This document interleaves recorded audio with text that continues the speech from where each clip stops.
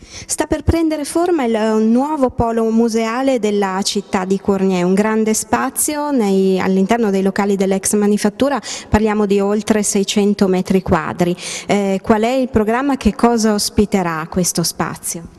Beh, si tratta di 600 metri quadri che si aggiungono a 1800 metri già allestiti a museo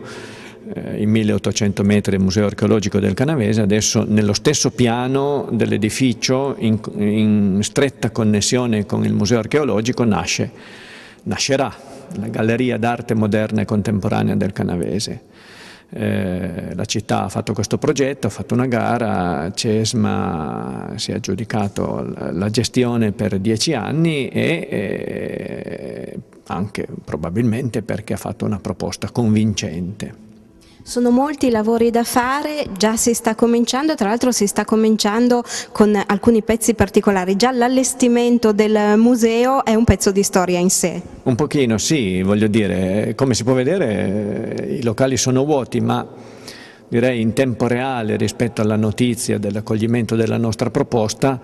noi avevamo in precedenza acquisito un lotto delle attrezzature della Galleria Sabauda di Torino che, che ha smontato le sue strutture e, e, ha posto in vendita una parte del, delle sue vecchie strutture, noi le abbiamo acquisite anche perché sono strutture in ottime condizioni, molto belle, degli anni 50 eh, in occasione di, di, questo grande allestimento che, che venne fatto ehm, e che ora è diventato non più adatto anche perché la, sede, la vecchia sede della Galleria Sabauda viene occupata dal Museo Egizio, quindi noi abbiamo acquisito queste,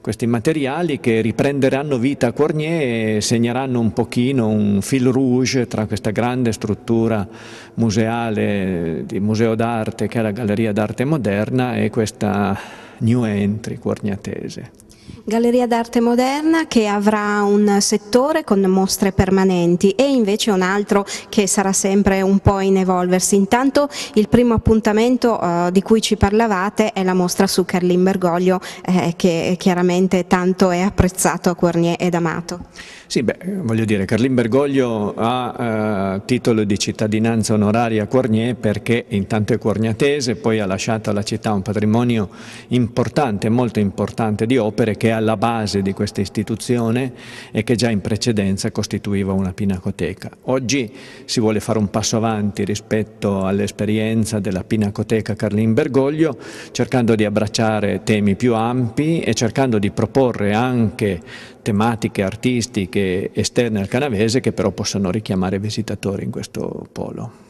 Tra le chicche che avete in serbo, qualche anticipazione? Beh, faremo, in apertura faremo una mostra tematica su Carlin Bergoglio, faremo una mostra contaminazione eh, tra archeologia e arte eh, abbastanza presto sull'acqua. Il tema è l'acqua, l'acqua in archeologia, l'acqua nell'arte, l'acqua eh, i fiumi, i laghi, il mare sono oggetto di ispirazione degli artisti, quindi eh, sarà un, un, tema particolare anche in fase con quella che è eh, quest'anno, 2013, anno internazionale dell'acqua. E poi eh, abbiamo in progetto una mostra sulla rappresentazione del territorio alto canavesano, in particolare delle valli del Canavese da parte degli artisti di 8 e 900 e poi abbiamo una grossa chicca a cui stiamo lavorando che è eh, l'idea, la volontà, eh, lo stiamo già pianificando, di portare a Cornier Picasso. Nonostante il grave momento di crisi e eh, chiaramente le risorse che sono sempre meno, eh, se si vuole davvero il modo si trova e l'offerta culturale di Cornier continua a crescere. Sì, si trova se ci sono dall'altra parte anche soggetti imprenditoriali disposti ad investire in questa scommessa e da questo punto di vista eh, ringrazio il professor Cima per aver accettato questa sfida. E noi siamo consapevoli che sia difficile fare cultura in un momento come questo, siamo altrettanto consapevoli che il fare cultura può essere un elemento eh, gratificante e anche una leva importante per uscire da questa crisi.